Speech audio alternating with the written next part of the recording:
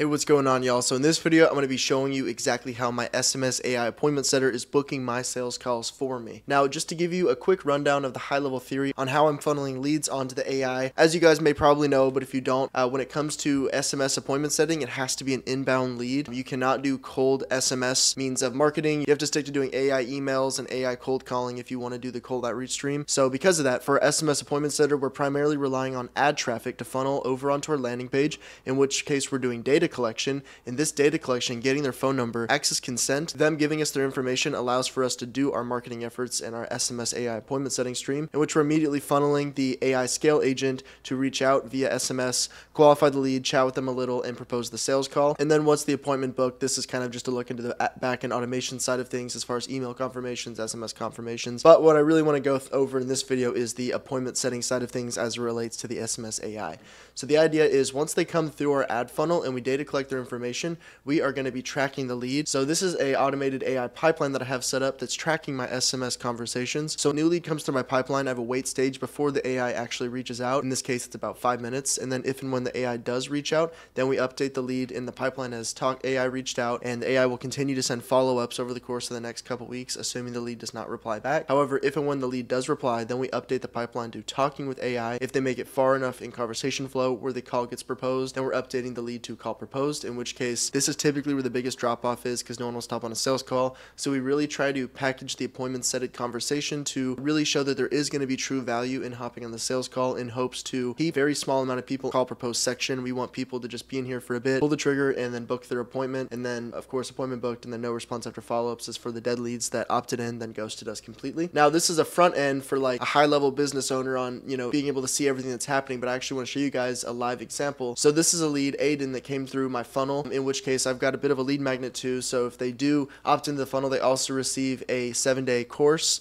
So that's incentive for them to give me the information in the first place. Five minute wait stage. So you see 1053 and then five minutes later, the AI is actually reaching out and kind of just, you know, saying a leading question, sparking the conversation like, hey, did you take a chance to check out the email I sent over? Let me know if you want to schedule a demo sometime. I can show you how client acquisition AI management lead flow works. And in this case, this lead had a question off the bat asking kind of what we offer. You know, they're considering AI. I'm not going to read word for word, but you get it. Specifically masked my AI. I saw a competitor do this and I was like, you know what, might as well try it out. And it's been working great. So we do all lowercase for like the AI messages just because it seems a little more human like. And then I've got like a couple minute delay. And then I've got like a one minute delay in between replies. And especially if I'm sending a few sentences like this, then it really does look like it's me or a human behind the scenes. Although if someone ever does accuse, I've taught my AI to be like, all right, just give them transparency because I typically do AI integrations. You know, it usually helps with rapport if they know it's an AI and I'm not, you know, just continuing to bullshit because it's like, oh wow, this is pretty good AI. Let's go ahead and book a call. But here's the thing: if you're just a normal business owner and you're looking to use this for lead nurturing, you would likely just want it set up to where they think it's you. Anyway, so here we're qualifying. I specifically like to work with clients that are making at least ten thousand dollars a month. So we got that qualification question answered, learning a bit more about his service delivery, and this is where we're really beginning to pitch our own services. He's asking a bit more detail, so we provide some elaboration. He said, "Oh yeah, I'm looking for AI appointment setters. Perfect. That's our bread and butter. Late long-term lead nurture sequence. That's also something we're strong on. And then here we're even explaining a little bit more about that to kind of reinforce what he's looking for. And he's like, hey, you've came to the right place. This is what we do. You know, proposing like, hey, are you interested? And this is where we're transitioning to book that sales call. Yeah, I'm interested. What do we do? And then great to hear interested. Let's schedule a time to chat. Sure.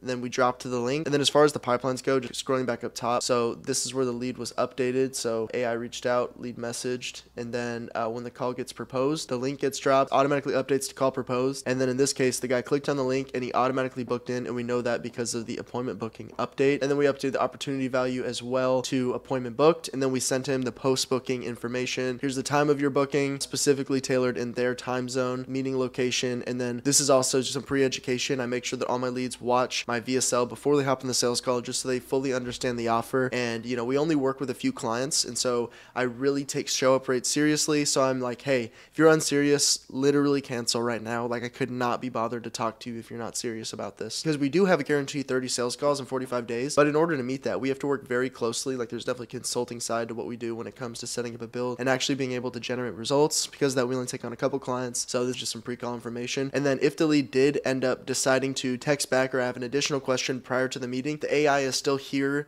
essentially on call to handle those questions and just continue to act as a point of contact until the sales call for me to ideally close into a paying client. During the time of recording this, it's the 30th of July. So this meeting is tomorrow. So we'll see what happens. Anyways, that that is a very quick elevator rundown into exactly how SMS AI appointment setter is capable of booking leads on a sales calls. And no, we are not using the internal Go High Level tool. I have a whole automation deck set up. If you see any of my other builds, I get very customized with how I set up my AI appointment setters. And then we're using Make.com in scenarios like this to go straight to the source instead of using Go High Level's white labeled AI. Because for every cost per message generated, you should be spending like one cent on. You're spending three to four cents if you use Go High Level. So by undercutting that, going straight to the source with Make.com, so it allows us to have the cheapest cost per message generated on the market. So at scale, when we have hundreds of conversations, or some of our clients, they're having thousands of conversations, we have the most affordable rates. So, you know, overhead is great. And then another thing is like Go High Level really puts handcuffs on their AIs. So very user friendly. So a lot of people can use them. But for technical developers like me, you know, we want to go the extra mile and actually set up a build properly. So that's another reason why we undercut Go High Level and use Make to go straight to the source. Nonetheless, everything starts and finishes from a conversation perspective on Go High Level as the primary platforms so we're able to see visually